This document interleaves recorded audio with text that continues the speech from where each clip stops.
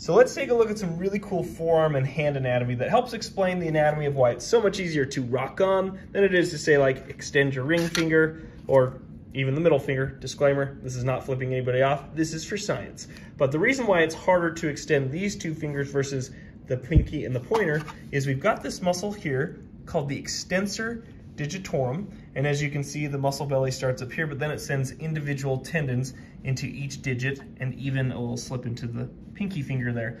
But the pointer and the pinky finger are so much easier to extend because they have their own individual muscles. We've got an extensor indicis muscle here that can work independently. And we've also got an extensor digiti minimi, if I can get under those tendons, to the pinky, which can help that extend independently. But of course we like them together, like rock on versus doing something kind of mean.